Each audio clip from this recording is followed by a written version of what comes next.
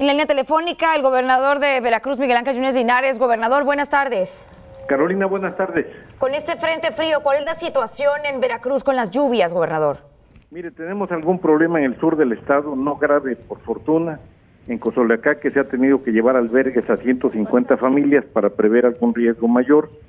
En Uspanapa, eh, más hacia el sur, tenemos 120 familias afectadas por una inundación de 40 centímetros, se les está apoyando ya. Y en Zaragoza, muy cerca de Minatitlán, hay 100 familias afectadas prácticamente por viviendas destechadas por el viento. Estamos muy pendientes de la lluvia, del crecimiento de los ríos, sobre todo los de respuesta rápida. Hasta este momento lo que se reporta es eso. No tenemos daños mayores, sin embargo, el Sistema Estatal de Protección Civil ya activó la alerta gris, que significa estar en emergencia, estar en, perdón, en eh, todos en pendientes todos los sistemas municipales y obviamente el sistema estatal de protección civil. Hasta el momento es lo que tenemos. El cierre de la presa Yuridia por eh, turbiedad que fue eh, reportado, ¿qué representa para eh, los municipios del sur? No, no tenemos reporte todavía formal y si se cerrara no tiene nada que ver con la lluvia. Bien.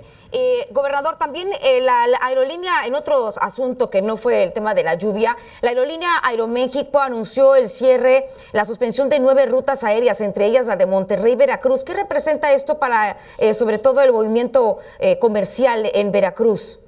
Es muy lamentable, la verdad es que Veracruz necesita mayor conectividad. Es un aeropuerto de muy buena calidad el que tenemos, con una gran capacidad y el vuelo a Monterrey era un vuelo que incentivaba, que podía incentivar la actividad económica. Sin embargo, eh, seguramente Aeroméxico es algún análisis de ocupación y por esa razón decidió en su caso suspenderlo. Bien, eh, por otro lado también hoy eh, y bueno, varios días hemos visto que ha anunciado las distintas obras que ha inaugurado también y que ha entregado en materia educativa, gobernador.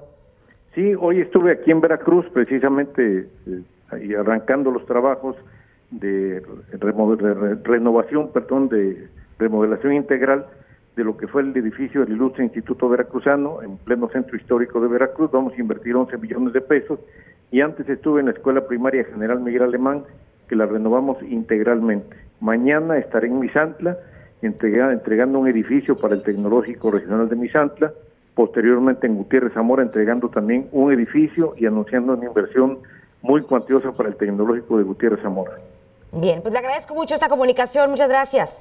Gracias, Carolina. Buenas tardes. Buenas tardes. A usted también, muchísimas gracias por su atención. A las 9 de la noche, día con día. Muchas gracias.